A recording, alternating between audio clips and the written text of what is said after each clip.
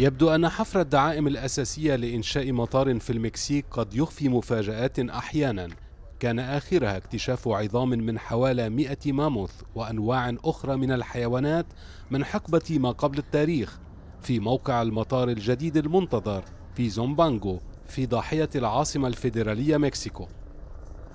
Y al día de hoy tenemos 194 puntos de hallazgos paleontológicos. سجلنا حتى الآن 194 نقطة اكتشاف عثرنا على أكثر من 100 حيوان من الماموث والجمال والخيول والبايسون والسمك والطيور والظباء de aves, de antílopes, roedores.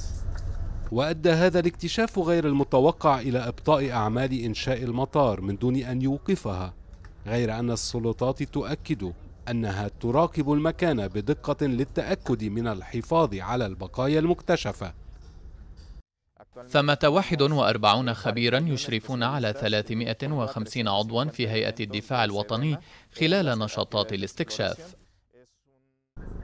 ويعود تاريخ هذه الحيوانات إلى حقبة غابرة تراوح بين عشرة آلاف سنة إلى خمسة وعشرين ألفاً.